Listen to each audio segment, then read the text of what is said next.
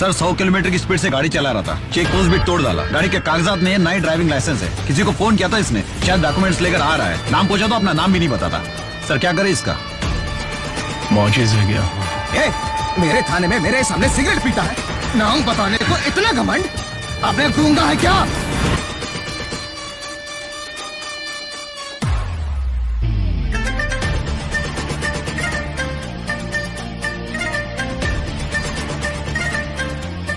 driving licence